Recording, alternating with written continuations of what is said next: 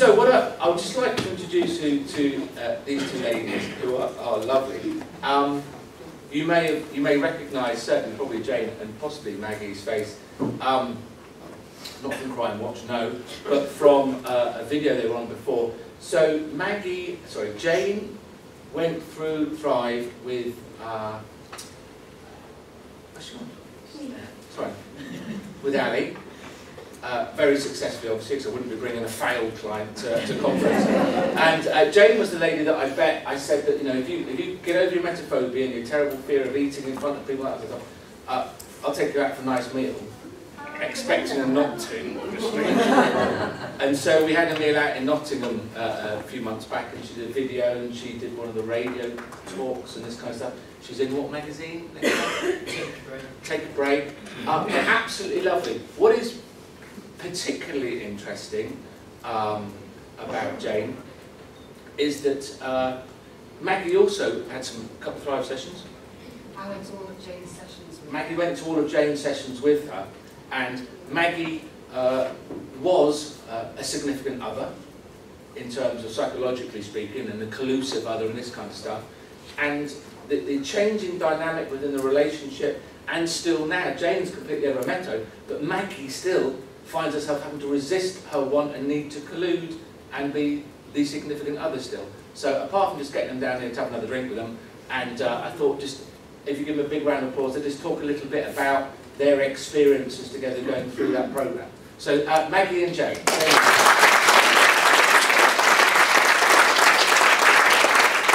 What we'll do, you, oops, you hold that, that's right, and sort of have it about there, you do that and then pass it over don't let her keep holding because you know. I know, yeah. she talks a lot.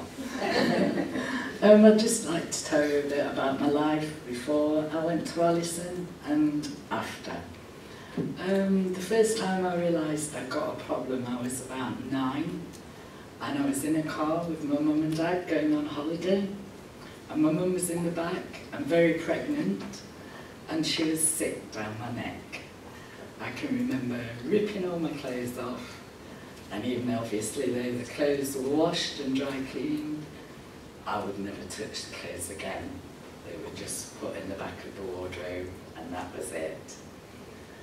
And after that, every time somebody said they felt ill, I would walk away making an excuse. I was tired or I got to go to the toilet or something so that people didn't know the real reason why I was walking away. Um, I did get married and have two children. If they were ill, I used to lock them in the bathroom and either send for the father home or run round next door and fetch my friend to look after them because I just could not look after them. When I was a teenager, I couldn't go out with friends because friends get drunk and then they're ill. So the few times I did go out, if anybody started getting drunk, I just say I was tired and go home. Holidays are a nightmare. Um, aeroplanes in particular, because you can't jump out of an aeroplane, obviously. Um, I used to have to go to the doctors and get diazepam and take enough to send me to sleep till we got there. So obviously the next day of the holiday was ruined. And then three or four days before we were coming back, I'd start panicking about flying again, and more diazepam.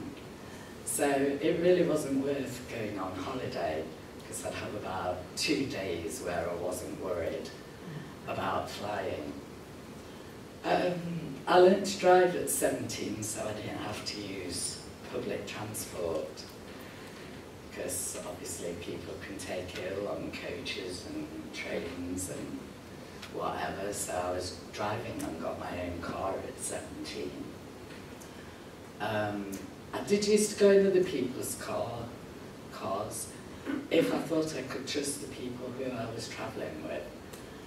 There was a very small minority of my friends who did know about my problem, but I should say 95% of them didn't because it's just something you don't tell people. Um, obviously most of my family knew, but not a lot of them understood. Um, my mother certainly didn't. She just used to say, oh, don't be so stupid, you know, and don't know what's the matter with you and stuff like that. Um, one time travelling on the motorway, somebody in the back of the car um, said they were going to be sick.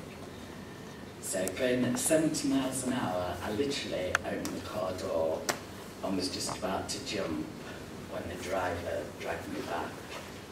But I would rather have jumped on the busy motorway than had anybody be sick in the car. Um, I wouldn't go to hospital under any circumstances. It was too much of a trauma to go to hospital. Even when I was really ill, I wouldn't go in hospital. I'd stay at home because again, you'd rather die than go somewhere where you could see people being sick.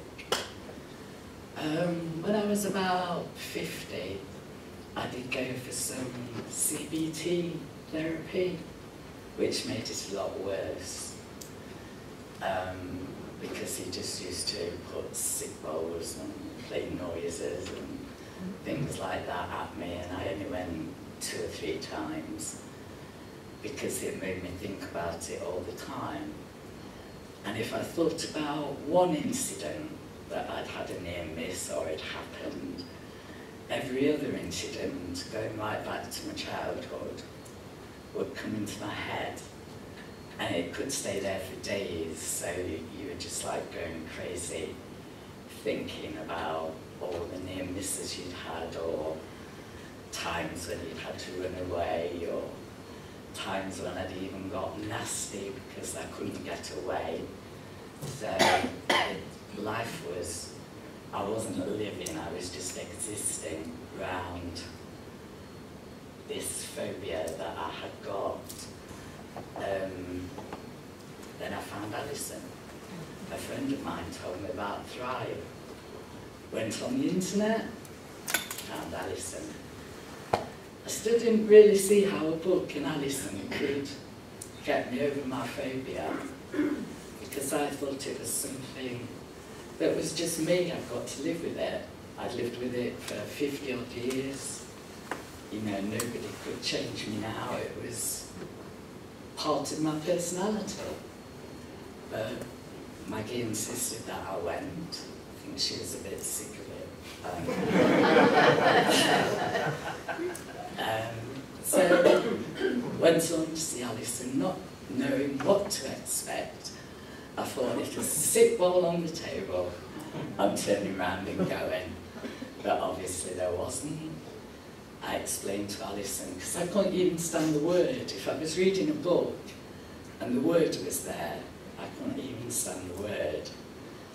So I explained to Alison that I didn't want any noises playing to me by tape or anything like that. And she said, no, it was nothing like that. I felt very relaxed with Alison. She was really nice, really understood, really supportive. And after two or three sessions, I actually looked forward to going to see Alison because I knew, even then, that I was going to do it. And I did. I think we was it eight sessions, Alison, something like that. And now, I've been on an aeroplane twice, no tablets, love the fly. I've just come back off a cruise to Norway, where there were sick bags everywhere, because everybody, I think everybody on the ship was ill except me, including my Maggie. And loved it.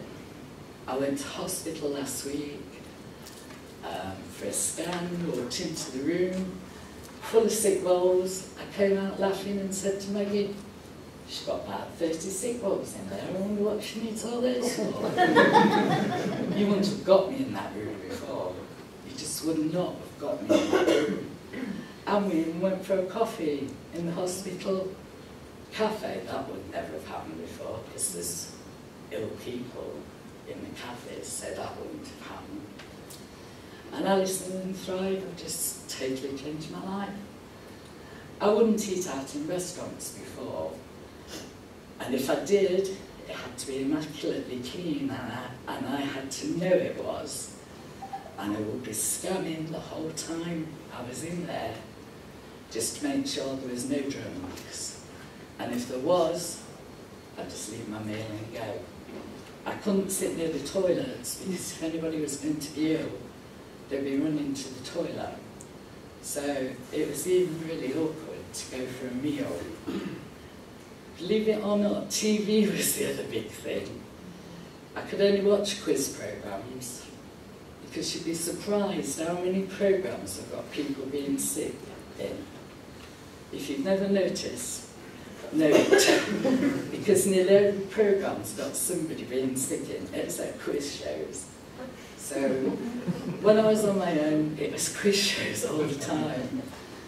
And it's just become a way of life. But now, I can watch anything on TV, go out for meals, go to the pub, absolutely do anything. All thanks to Thrive and Alison. I'm now living, not just existing. And I'm going over to Maggie now to tell you what it was like living.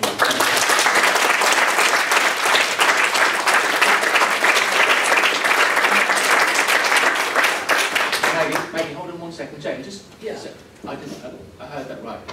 You're on the cruise Yeah. and, and people being sick all over the place. All over, because it was really rough. We went up to the Arctic Circle and everybody was being sick and there were sick bags posted everywhere. And how did you feel about that?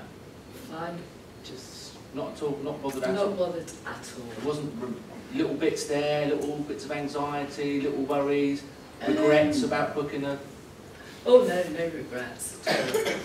I, I did get a bit upset when Maggie took ill, but that wasn't, I don't think, because of her being sick.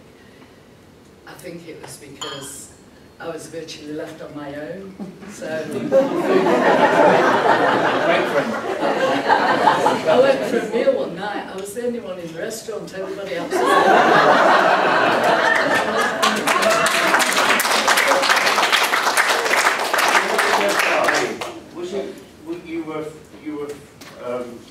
phobia of other people being sick or yourself? Um, both actually, but the fear of other people is greater. I don't like being sick. Well, I don't one like does. being sick, but I don't think anybody does really. But I could control where I was sick and I could actually stop myself being sick. Um, but it was mainly other people because I couldn't control that. Max, Just to tell you a little bit about the cruise, um, about four years ago we cruised to the Caribbean and it was our first cruise. And we went, as we went through the Bay of Biscay, which is notorious, I was very seasick. Um, and we were cruising in November and we had a balcony cabin. And I was ill for three days. And Jane spent three days in November at sea on the balcony. Even though I knew that I would not actually vomit, just the fact that I felt sick was enough to keep her in the balcony. And at one point, her saying, I'm jumping over, I can't cope. And it's not an idle threat. I knew there was every possibility that unless I could show that I wasn't going to be sick, that she would jump. And I think it's really difficult for people to understand the depth of fear that people have when they have a phobia. I was the driver in the car when she tried to get out at 70 miles an hour. And that was really difficult because I got to hold her because she would have gone. But what she didn't tell you is that we then sat on the hard shoulder for about three hours in the middle of nowhere at night on the M1 with two children, one who was feeling quite ill, trying to convince her to get back into the car. She talked about restaurants. We used to go to a lovely Italian, and we used to go quite regularly, probably about every six weeks. And then somebody was ill one night when we were there. We've never been since. That was 11 years ago. And it's just an absolute no. And if somebody had been sick, If they'd been, uh, um, somebody had come to the house and been ill and been sick, they would never come back, um, wouldn't be allowed. And she mentioned briefly about she could be quite nasty, she could be vile, absolutely vile. I've known Jane for about 30 years and um, I've known all of the family for that, that length of time. And when Jane's husband was ill, I moved in to help care for him. Um, and Ted had cancer, he had lung cancer. And he used to cough. And he used to cough and make that sound that people make when they're going to be sick. I've had to physically restrain Jane from hitting him. And every foul, dirty name that she could think of, she called him. And that was her fear. We she used the C word on him? She used words that I've never heard. never heard. And we had to, Ted had to go and stay with his son um, for the end of his life. And when he was admitted to hospital, Jane never went to see him until he was in intensive care. Because her thought process was, he can't be sick if he's unconscious. They won't be sick in intensive care. so she did spend the last days of Ted's life with him, but Ted was unconscious. So for 27 years of their marriage, where they'd been very close, they lost that because of the phobia. When Ted died, I stayed. I'd been there that long that I didn't move out. Um, so I became Jane's enabler really, but without realising. I'm a nurse by profession, so my role is to care and make people feel better. So what I found, what I didn't realise I was doing was enabling her quite so much. And she's talked about flying. She says it was a nightmare for her. It was horrendous for me because it used to start weeks before. Because part of it was all around the control. Um, and I'm somebody who likes to be on time, but generally I set off with maybe a 10 minute margin. If I'm going on holiday, I can pack the day before. But all of you will know that for the control, we'd be packing six weeks before. And if I wasn't packed six weeks before, she'd get nasty. When we set off for the journey, she did have the diazepam, but trying to get it into her was a nightmare because she didn't like the loss of control that she got from the diazepam. She would take it eventually, but would be halfway through the flight before she fell asleep. And all the time she was awake, every time somebody moved, I had to know exactly what they were doing. So I spent my flight, instead of relaxing, reading my book, watching the film, it's just a child getting a packet of crisps. It's somebody opening a toy. They need a wee, they've gone to the toilet. Not they're going to be sick. And that was the commentary through every flight that we did. When Jane's son moved to Australia and we flew for the first time to Australia, 24 hours of purgatory. Mm. Absolute purgatory. Um, and booking seats on flights. We can't do last minute flights because we have to be able to book seats and they have to be seats together and Jane has to sit near the window. We have to get on first so that she could scan every person that was coming on and she would know whether or not they were going to be ill within the next eight hours, even if they currently felt quite well. So the commentary would be, don't like the look of her, where she's sitting? and I'd have to follow that person She's 10 rows back, you're fine. And this would go on all the time. Um, at home television, she's talked about the TV. I would have the remote, because quite frankly, quiz shows, when you're watching them every day, and they're quiz shows from the 1970s, it starts to wear a bit thin. So if I wanted to watch something that was a drama, I would have to have the remote and it would be, you've got the remote, haven't you? Yes, I've got the remote. You're watching, aren't you? If I manage to pick up my iPad or my phone, what are you doing? I'm watching the television. If I wasn't quick enough, I would get the words, because it would be my fault that I'd not turned the TV over in time if somebody had been sick. I've not seen the end of so many dramas. I've had to go into work the next day to say, what happened? Because you can't turn it back over. You're then back to blankety blank from 1982 or whatever. Um, when we came to see Alison, Jane, I knew that Jane would think that it wasn't going to work. Um, and we were late for the first proper visit. We weren't actually late, we got there on time, but we weren't there half an hour before. And her conversation in the car on the way was, there's no point, may as well just turn around, it's not going to work now, is it? But when we explained to Alison and she understood, it made such a difference. And I went to every session with her, and that made me realise how much I had enabled her to continue with this phobia. And as it had got worse over the years, because we've lived together for 12 years, I probably contributed to that by enabling her quite so much.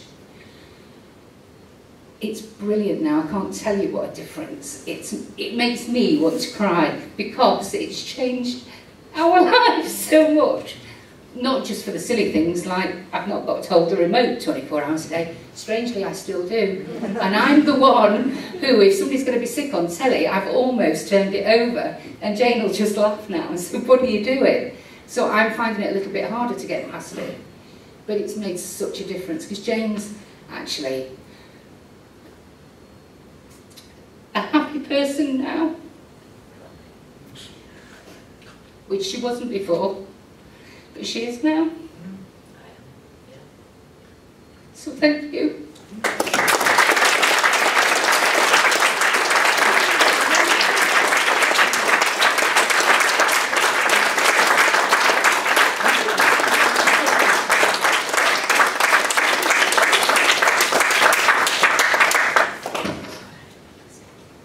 There's got to be a sitcom there. It's- it's- it's- Wouldn't get it past censors, I don't think. well done. Done. It's just such a difference. So, I've got to follow that somehow now, talk about something else. But I think, I think the, uh, one of the amazing things about Jane and Maggie is that when, when we see emetophobes, and we, we, because we don't do psychotherapy with them, generally speaking, we don't hear about all the other stuff that goes on. Here's a person presenting with a problem, right, let's, let's fix it, let's show them what to do. I think unless you actually sit down and hear just how much of their lives were taken up with routines and um, defence mechanisms and avoidance and safety-seeking behaviours. I mean, it's 24-7, it's non-stop the whole time. But I am sorry to say, I feel far more sorry for Maggie than I ever did for fucking, for fucking Jane. Because Jane's only got Jane to worry about, Maggie's got Jane and the problem to worry about. And what do you do where, where Jane only had to worry about being sick? Maggie had to worry about that and Jane, and you're caught between a rock and a hard place. Do you say, pull your finger out, get over it, we're watching Casualty, and risk a backlash, or do you tolerate the grief and stress and watch blankety blank all night long? Where at least she's happier, but poor old Maggie's going through that non-stop. Maggie's got PTSD for all these years having to look after you. You should be looking after her now for the rest of her life. um, but what a brilliant, uh, you know, I can't get enough of these two. What a brilliant story. And the other thing is that to realise that when, when you see a lot of emetophobes and treat a lot of emetophobes, and you do see emetophobes that have been helped through other techniques, even when we, when we can help them through things like PHA and people that have been helped through other things like CBT, it's never to that degree. You'll never, you'll probably never, I'll give you a thousand pounds, if you can find somebody that's been through any other treatment and had emetophobia as bad as Jane had, that will sit on a cruise and be the only person in the restaurant because everyone else is outside chucking up. Rob, could I just ask, um, would, would Jane just give us a flavour of, as you're going through the work, what your thoughts were, and was it a gradual process? Was there at any particular moment when you thought, actually, shit, I can do this? Can you just talk us through what, what your thoughts were? Um, yes, it was a gradual process because at the beginning, like I said, I didn't think Alison or book um, could get over this fear I'd had for 50 odd years. I just thought it was part of my makeup, you know, it was almost my personality, it's the way I was. Um, after about the third or fourth session with Alison, um, when she talked about self-esteem, um, we did some quizzes which are in the book, and I didn't realise that my self-esteem was low, really. Um, but it was down at 20%. Um, but near the end of the course, when Alison did it again, it had gone up to 80%. And I think feeling good about myself, which is the way Alison made me feel, um, helped me to overcome the fear, really. Um, it, it was gradual, but after about the fourth session, I knew that I was going to do it because I was starting to watch a bit of television. And so you're some, avoiding stuff less. yes, yes, definitely. I was starting to watch TV and I wasn't shouting at Maggie to change it over. I probably did still have my t-shirt pulled up over my head or a cushion or something, but it was getting better slowly but surely.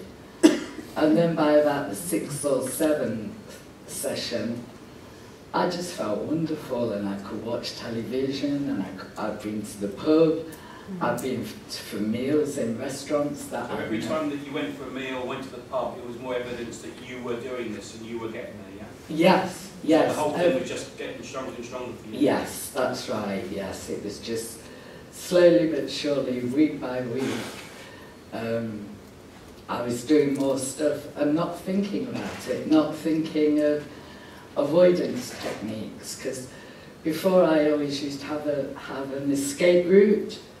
If we were in a restaurant, it had to be quite near the front door because I had to have an escape route. And that's why I didn't like planes, because there was no escape route. I've been locked myself in the toilet on a plane before, you know, and I've sort of come round from the diazepam for the last 10 minutes or whatever. Um, but I just noticed that things I've been petrified of before weren't there anymore. Just add to that? In fact, in the sessions, it was it was Maggie pointing out things that Jane had done without Jane even thinking about oh, Yeah, it. it was. Because it felt so natural for Jane to do those normal things. She wasn't thinking about it, noticing it, and it took Maggie to point out, well, you did this, we did this this week. Yeah. So it's that, it's that comfortable feeling, just doing things without thinking about it, that starts Yeah. to kick in. It Jane, was. can I, can I ask you, um, when you look back, was there one or two particular points in the sessions or going through the process that you really made a difference, or one or two things that you really, that really stand out looking back? Or was it just a little bit of everything? Um, I think really it was a little bit of everything, but I didn't have a very good um, childhood. Um, I was adopted as a baby and I frequently got reminded by my adopted parents that what they'd done for me and that they'd take me out the gutter almost and give me a home.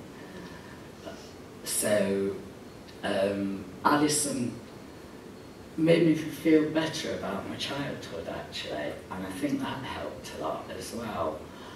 Um, but it was just a slow process. There wasn't one thing that stuck out. Like Alison says, Maggie would often say, "Oh well, we went to that restaurant this week and you didn't scan," because I could never enjoy a meal. All the time I was having a meal, I was, "Is anybody looking ill?" Because I could spot them a mile away you know, you, you just got this inbred thing where he's going to be sick later on, you know. I don't, I don't know why, and I was usually right, wasn't I?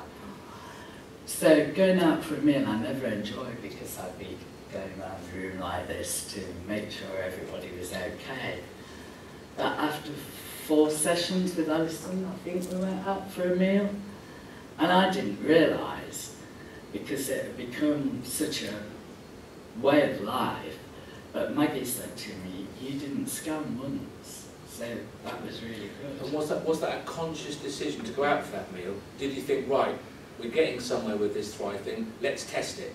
No? No, not really. Um, We eat out a lot. We, we do eat out a lot, but like I said before, it'd have to be in specific restaurants that I knew really well, that to be immaculately clean, because I've probably been and checked the kitchens.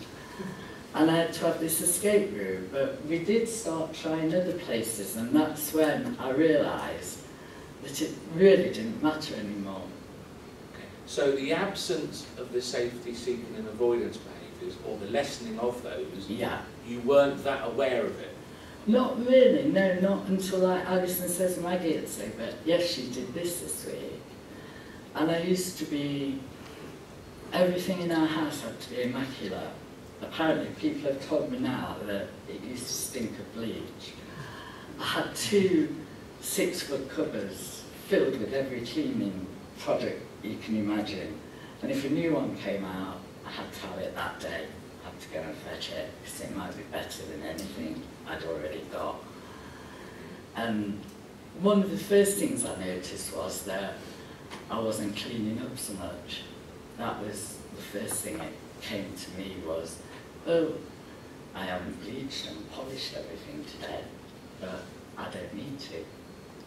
And that, that was quite a big one for me too. So after 50 odd years of cleaning up every day, and I don't just mean giving a hoover, I mean cleaning up. So that was amazing. I don't do any now. Any other questions for... Yeah, I'd just like to ask, Yes. um, at what point did you, mate, find that this might work? Um, I think partly because I am a nurse and um, I've got some mental health background, I know that the talking therapies can be really, really powerful. Um, and when CBT failed,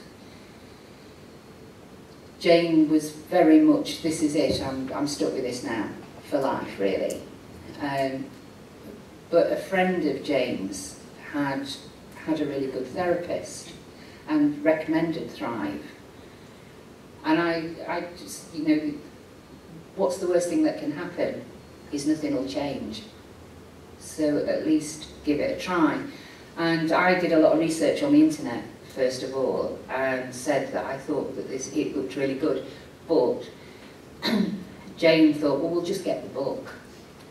And I said, no, you've got to do it with a therapist. Because I, I knew that doing just the book with me would never work because she would not say to Alison the sort of things she'd say to me. So um, that's why we, we did go for the therapist and it, it was amazing. But when I think it started to work was you know, the very first exercise that you do around um, self-esteem and looking for something positive, the 10 positive things. Jane was a, an exceptionally negative person prior to Thrive and struggled. She could not think of one single positive thing. And we used to do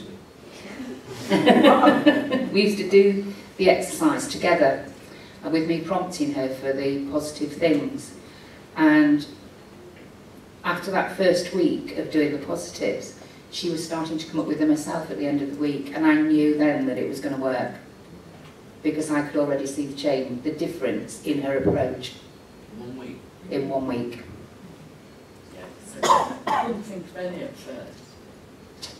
I just couldn't think of any at first, and I thought, mm, can't do this exercise, I'll have to go back and tell Alison. And then Maggie says, no, come on, we'll sit down and I'll say things like what you did on Wednesday or something. And I managed to get a couple, but not many, did I?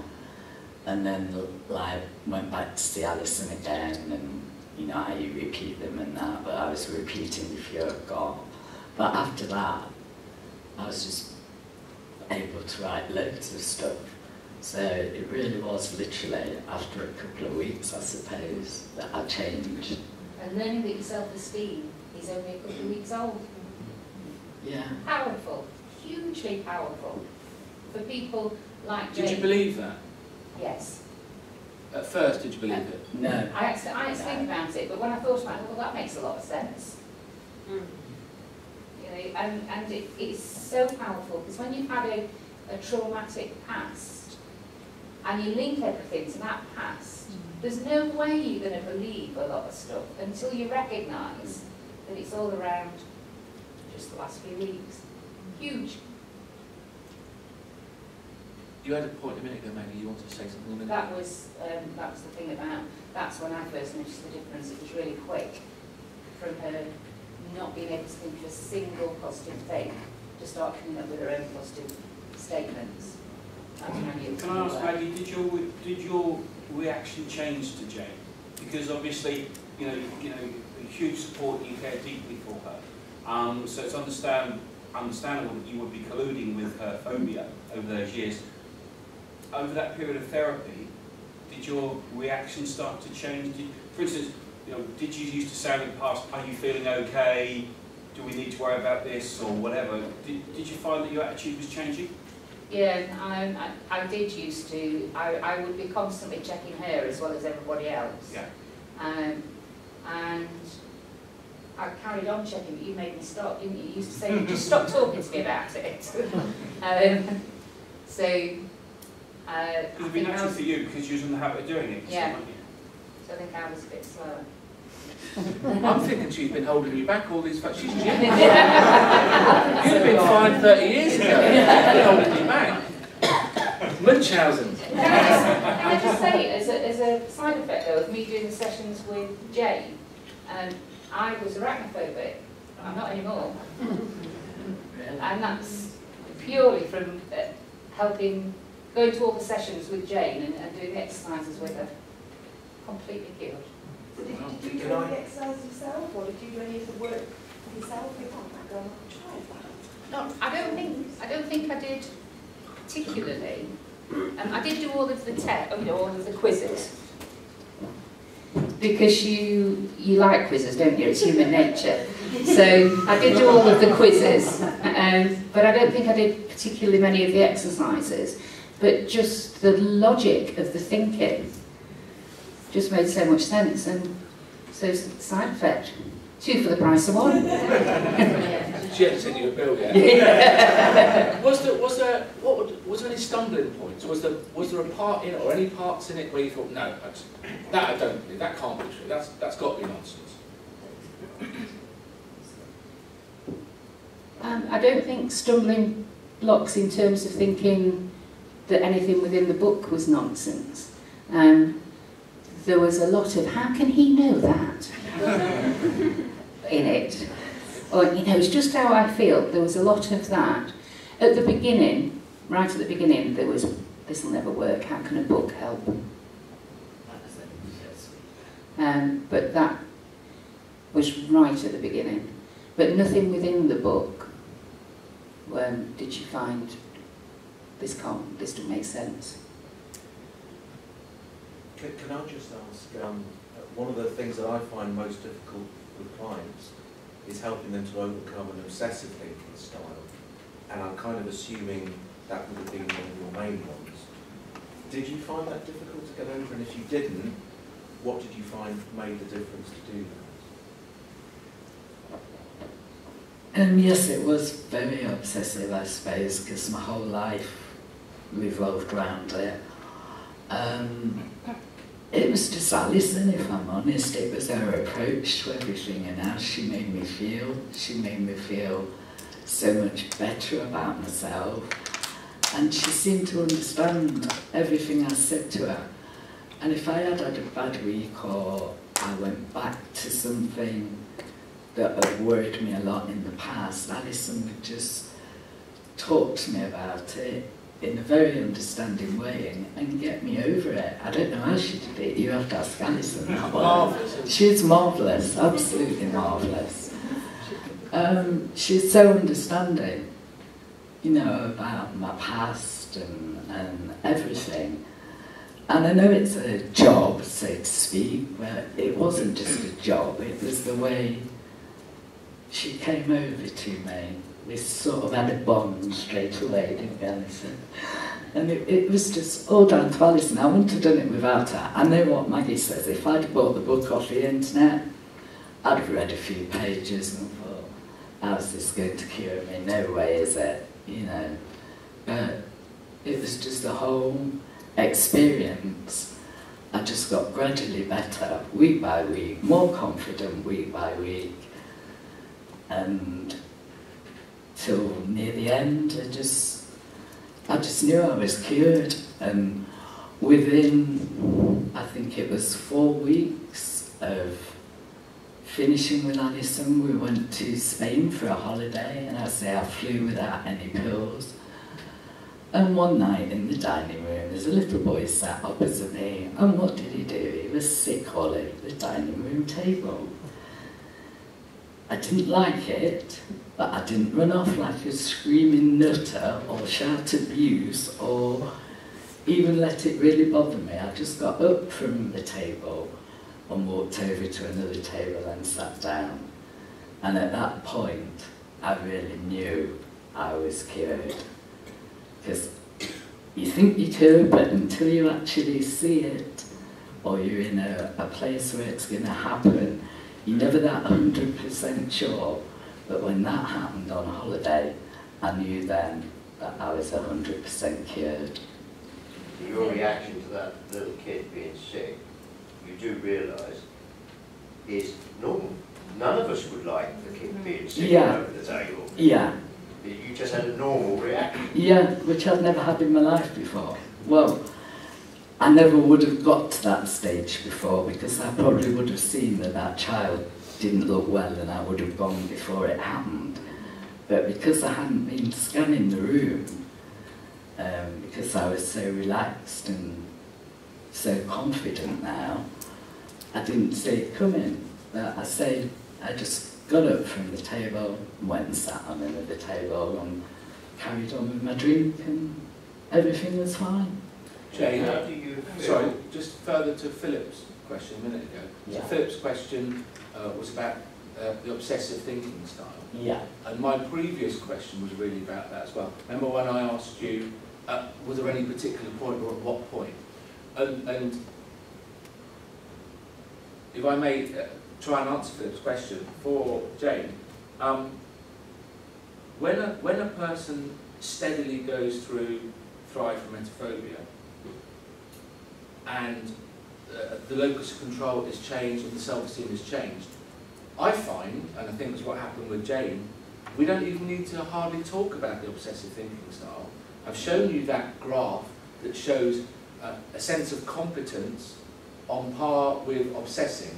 As the person feels more competent, the obsessing just decreases. Yeah. So get it, get the balance as you're going through absolutely right, and you don't really need to focus much on obsessing. If we've got to the point with a emetophobe or anyone else who's, who's obsessive, and they're still obsessing a lot, they're, obs- they're, they're directly getting or trying to stop them obsessing isn't going to help that person. You need to be asking yourself, why are they obsessing? Right, the desire for control is obviously still very, very strong. Black and white thinking is still obviously very, very strong. And if those two things are strong, then the person's probably still being very external. Let's work on the externality being the cause, if you like, rather than the obsessing, which might be seen as the symptom of it. Yeah. I ask every e- ex-emetophobe now, and when we did the, the day in London uh, with, with Sarah, I said, what part of it? Was there a particular part? You know, which particular part of it? And they always say, with the emetophobe, there wasn't really a particular part. You know, I got better a little bit, and as I got better, my safety-seeking and avoidance behaviours dropped a little bit. There wasn't a particular day or a eureka moment. As, as the competence and confidence increased, the safety-seeking and avoidance behaviours just decreased. And it's as simple as that. If, if they're not, there's a bit missing somewhere, and it's almost always just the sense of self-efficacy, locus of control, self-esteem, along those lines. Any other questions? Joe at the back. Yeah, um, it sounds like Alison did quite a bit of reframing as well. In Ali? the, um, it, and when you, so, so belief systems, it sounds were, were targeted quite quite strongly. If it, uh, from what Jane was saying, it sounds like you were talking about things from your childhood and jumping over here and jumping over there, and, and you were making, um, you felt better, Jane, every time you spoke with, with Alison about Yeah. those things. Oh, yeah, definitely. So that it What did you do, Ali?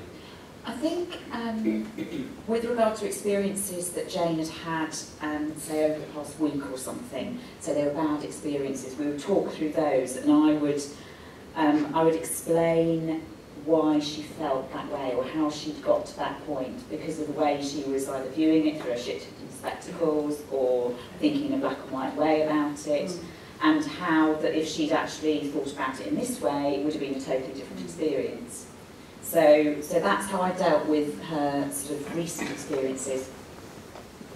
Um, from memory, I think about her past, um, it was more just gaining perspective on it, I think, and, and trying to get her to understand potentially um, the situation her mother or whoever was in and why they were why they had perhaps said or done the things that they'd done, whether they were right or wrong. But then just just I think that perhaps just let Jane accept what had happened had happened, but there was no real need to keep brooding on it That's uh, and going over and over it because it really wasn't helping her. It was all about from today onwards.